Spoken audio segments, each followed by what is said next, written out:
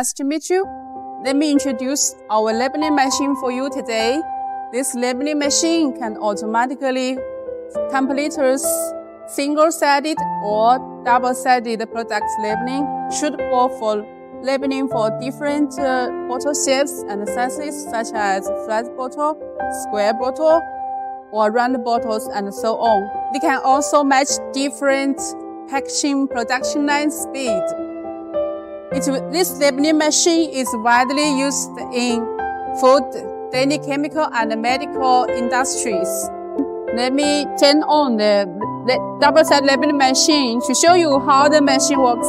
Firstly, you, we should put the product on the conveyor.